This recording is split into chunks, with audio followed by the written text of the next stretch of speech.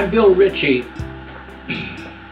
Welcome to the Mini Art Gallery and showroom for the uh, Wee Woodie Rembrandt presses. And I'm starting this little video because today is exciting to me.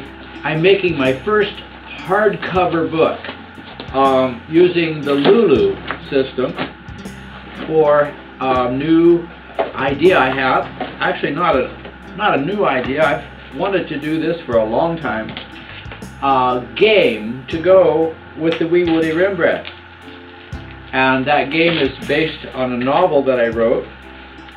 And it's always been a paperback, but using the new, uh, using uh, Lulu's hardcover feature, I now have a hardcover book. Isn't that beautiful? And I just opened the box. It's the first time I've looked at it. It's the first time I've seen it, and I wanted to share it with you. Look at that.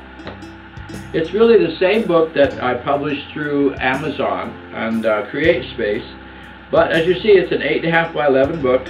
It's on cream colored paper. I still have the little images that go with it. It's the same story. I've, I made a few tiny changes, but it's all in preparation to creating a game to go with the Wee Woodie Rembrandt press. That the idea is that the press comes in pieces, that it comes all in like 19 parts, and you put it all together like this, and there's a plate that goes with it, a printing plate that you, a starter plate you could call it, and the idea is that you have the novel, the novel is sort of the backstory for the game, uh, a deck of cards will be with it, and you know, I really can't tell you how the rest of the game goes, but isn't that gorgeous? Just thought I'd like to share that with you. Thanks for watching. I'm Bill Ritchie in Seattle, Washington.